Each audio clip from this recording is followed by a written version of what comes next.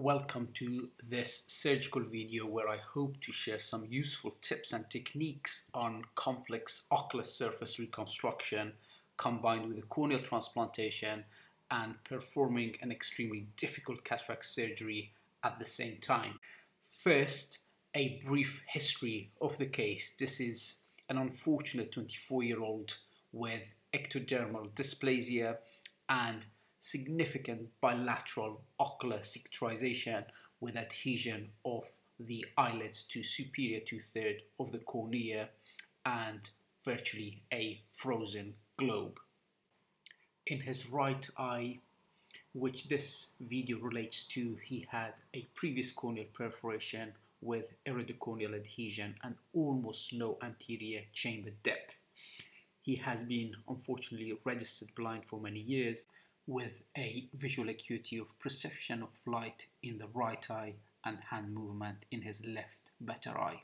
Successful outcome involves meticulously following several key steps. The first and most important step is to optimize surgical exposure of the globe. This is usually best achieved in these cases with the use of 7-0 vicryl suture to the globe and for O silk suture to eyelid margin. The key here is to ensure you achieve a wide-based bite to provide optimal pulling forces. The next step is to ensure you achieve an atraumatic hemostasis. 1 in 1000 adrenaline applied topically is an incredibly effective agent for this purpose you will see throughout this complex case I use no cautery at all thanks to the adrenaline drops. The third step is careful dissection and removal of scar tissue. Initially release gross adhesion as it will be very difficult to find the separation plane at this stage. This is often best achieved with a sharp Vannas or a Westcott scissor. Once we have separated the adhesion, adhesions, start careful and meticulous dissection to find a separation plane which leaves behind a much smoother surface. For this purpose, having an excellent wide base traction suture is extremely helpful to aid counter traction, which is essential to find the plane and dissect the tissue. Sometimes the tissue can be peeled away using blunt dissection with a hockey stick blade or alternatively use a Vannas scissor as I've been doing over here to dissect the base while maintaining optimal counter traction. Now prepare the eye for corneal transplantation. Use a caliper to judge the size of your graft and also mark the center of the cornea. I often find this very useful to put your caliper for probably around about four or five millimeter and then mark from four sides. Ensure the ocular surface is thoroughly dried before applying the corneal suture marks. Now use the lid speculum for the intraocular part of the procedure. Now carefully trephine the cornea bearing in mind known iridocorneal adhesions. Apply some viscoelastics and now complete the rest of the trephination. You could either use a pair of Dolk scissors or use a feather blade as I am doing over here.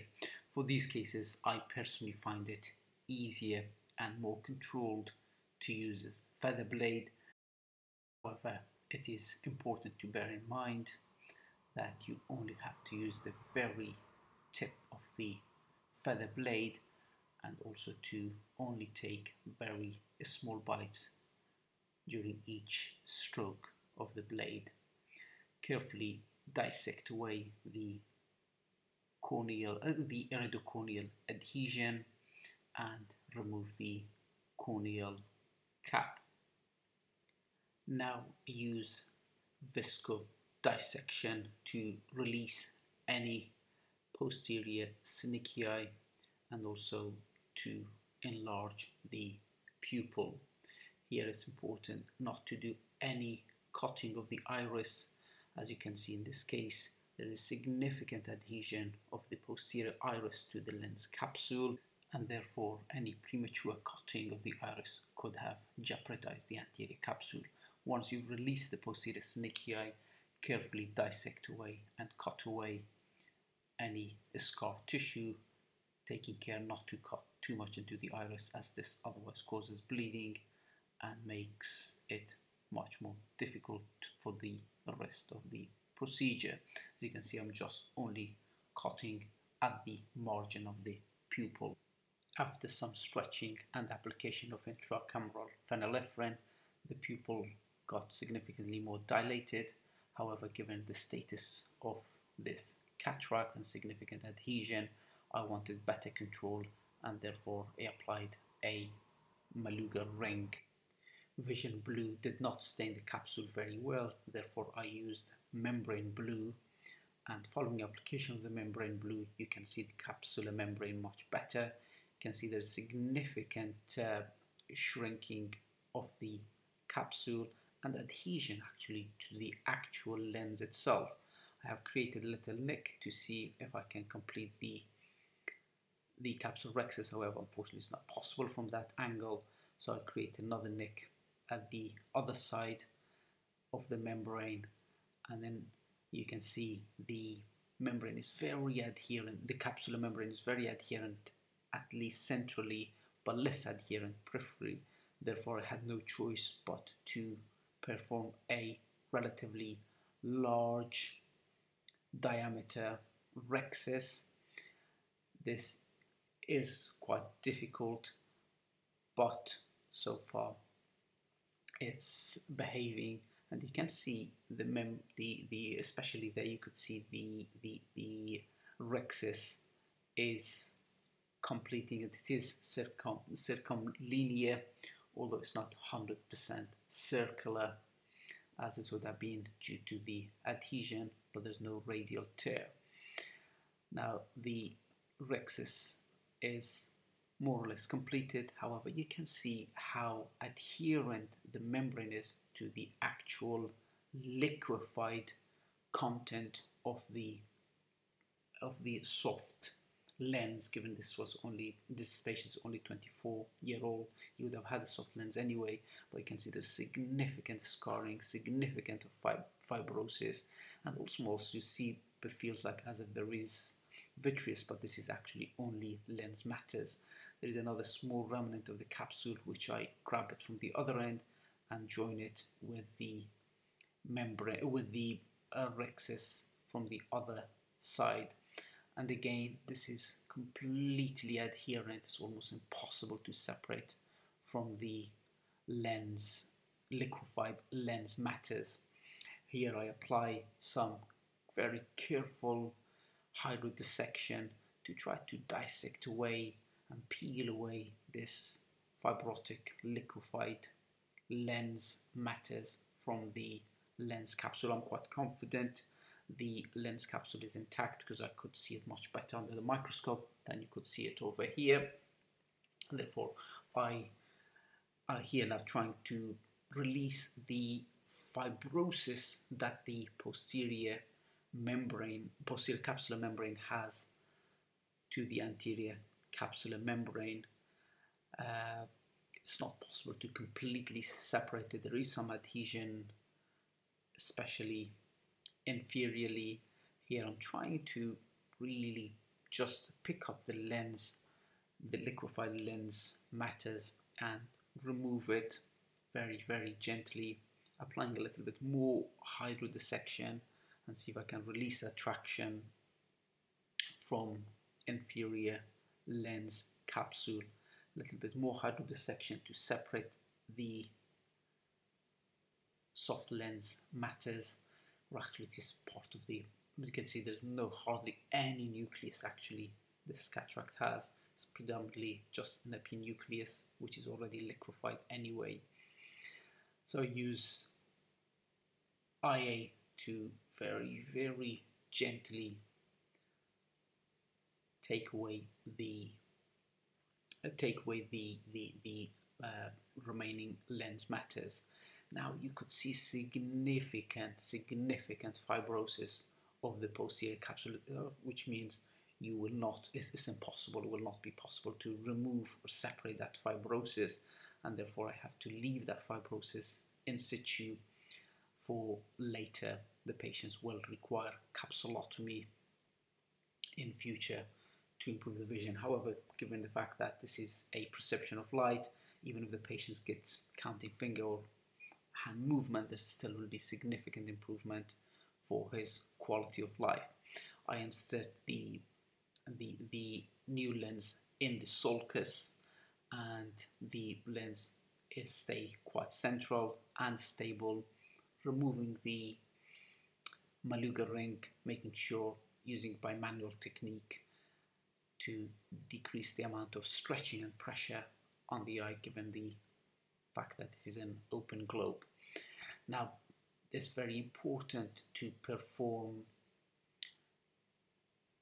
to, to, to perform visco dissection of the angle as there is iridocorneal adhesion as you could see quite significant iridocorneal adhesion removing the remnants of the of the cornea and peeling away this membrane which most likely it is a remnant of the Descemet's membrane from previous perforation. Now before doing the cornea button on the cornea I apply plenty of viscoelastics not just onto the eye but also around the surface so if there is any movement of the cornea it will glide over the viscoelastic and therefore decreases the chance of any cell loss. Now that corneal graft is completed, we'll go and perform more dissection of the symbol bufferon and cicatrization at other sites and carefully dissect away the scar tissue and making the eye ready now for the application of mitomycin C. Applying to mitomycin C the areas where we have had hydrodissection, ideally want to keep the mitomycin under the conjunctival tissue. I apply this for about three minutes and the mitomycin strength was 0.04%. It's very important to wash the eye with copious amount of BSS, at least I use 20 ml BSS. Now applying the amniotic membrane, I got a large 20 millimeter amniotic membrane, so use one single sheet for the whole eye. I secure the amniotic membrane to the lead margin inferiorly, inferiorly with suture first, so this will stay in position. And now I will fold it onto that area using the pad which it comes with. And now applying the fibrin glue to secure the membrane. It's very important to use a squint hook so that you can push the amniotic membrane well into fornices because this is essentially where we want the membrane predominantly to be and decrease the risk of further adhesion. So with the iris, with, with the squint hook, it's very easy to push and secure the amniotic membrane into fornix, fornices. I also apply some anchoring sutures at the superior margin of the eyelid so I am 100% certain that the amniotic membrane will be secure. Now trimming away the excess amniotic membrane from beyond the lid margin. I've already given the subconjunctival dexamethasone and gentamicin. Now applying a bandage contact lens. Alternatively, you can also put a symblepharon ring. Thank you for watching and I hope this has been useful.